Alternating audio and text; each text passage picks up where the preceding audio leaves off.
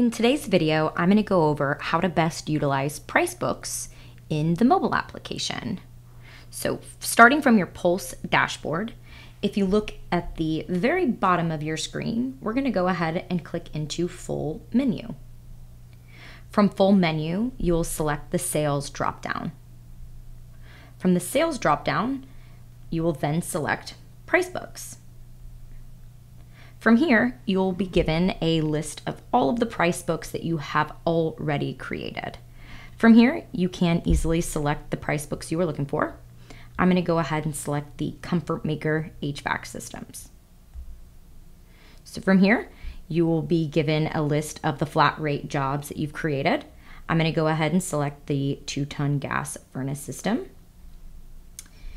And then you'll be able to show your customer which options they have.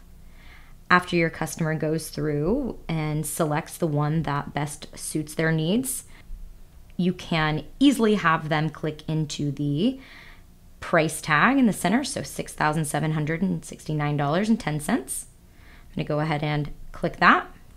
From here, if you have any add on options, they can easily select what they'd like. Maybe they'd like to include the Nest Learning Thermostat as well. You'll notice at the bottom that brings the total to $7,122.10. I'm going to go ahead and select Next.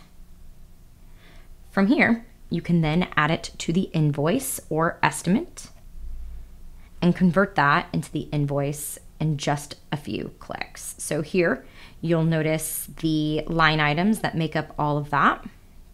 If you need to drag and drop, all you have to do is select and drag and drop. If all looks well, you can complete this by including customer name, invoice title, if you'd like to relate it to a job, invoice date, you can include a reference or a note, and then all you have to do is hit save and send. If you have any questions on how to manage your price book in FieldPulse, please don't hesitate to reach out to us, support at fieldpulse.com. Thanks so much.